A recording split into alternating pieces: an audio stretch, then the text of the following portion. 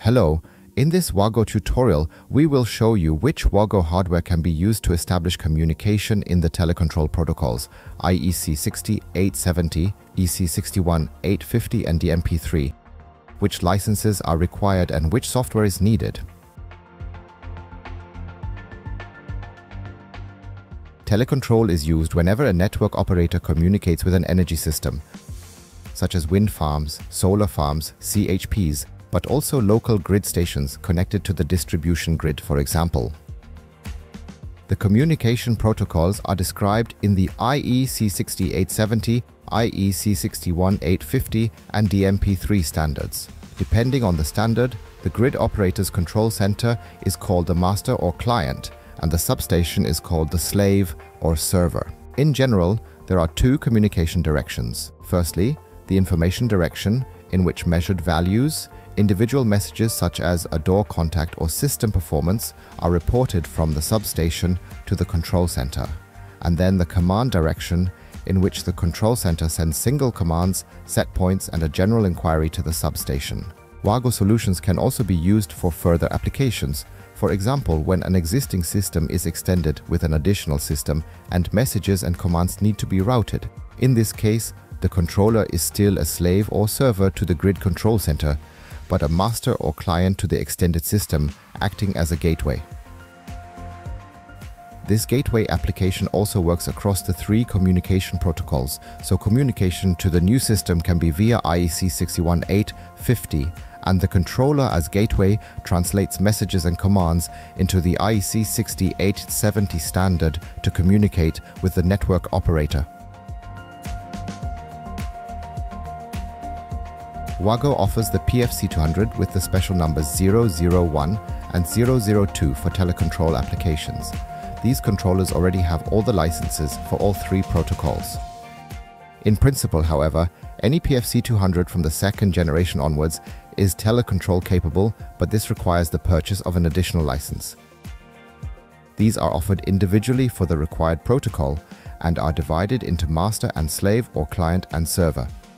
The client and master licenses are further divided into M and L. The M license is intended for use on the PFC. It contains fewer data points than the L license and can therefore be offered at a lower price. The L license is for the Edge controller, which has more processing power and can handle more data points.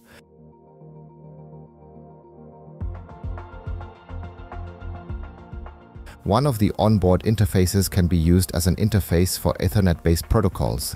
For the serial interface, for example, for the IEC 60870 101 protocol, it must be considered whether Modbus RTU is also used, in which case it may be necessary to use an additional terminal for another serial interface depending on the controller. This is also necessary if the protection devices are not connected via RS232 or RS485, but via RS422, that is 4-wire technology. In general, only the 750 652 serial terminal is supported for telecontrol. Configuration and programming is done in CodeSys 3.5 and here we also need the telecontrol add-on which is available from the WAGO Download Center. A link to the download center can be found in the video description. Once the add-on is installed we can start CodeSys and create a new standard project. Now we can right click on device, then add new device and in the field buses under telecontrol we can add the telecontrol configurator Double-click to open the telecontrol configurator and we can make the first general settings in the startup window. As well as assigning project names and comments, you can also select how the time is to be synchronized. If the time is to be retrieved from an NTP server, the IP address, polling interval and timeout time can be entered directly. However, if the network operator specifies that the time is to be sent, for example in the 6870 protocol via object 103 or in the DNP3 protocol via uh, the FC24 telegram, we can select this with the option primary protocol specific. The other two options, system time only, no synchronization, and primary NTP secondary protocol specific are further options that are sometimes required. In the project area, we can reset the whole project with reset, export the project or import an existing project. Use check to check for errors. The sort function is only available for the DNP3 protocol. Under Options, we can select various display options.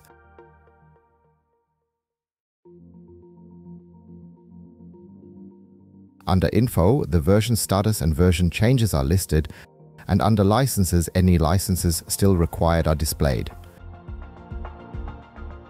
This prepares the controller for telecontrol and we can now create the data points that we will describe for each protocol in the next telecontrol videos.